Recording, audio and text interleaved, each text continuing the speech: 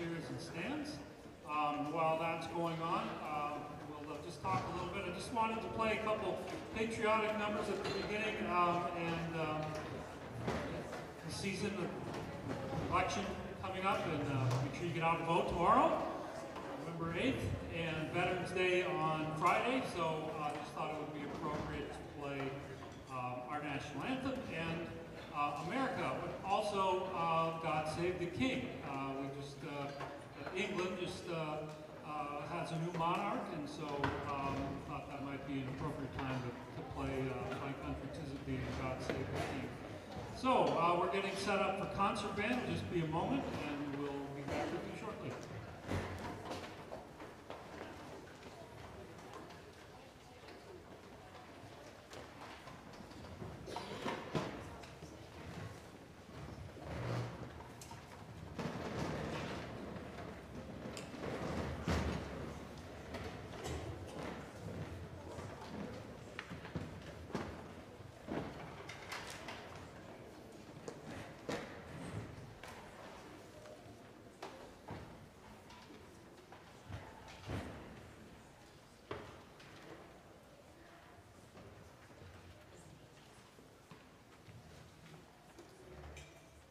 Uh, so this first piece by the concert band entitled The Voyageurs, uh, it's by Pierre La Plante. It's a combination of paddling songs, a love song, and songs of celebration, describing the hardy French-Canadian fur traders of Canada in the upper Midwest in the 18th and early 19th centuries.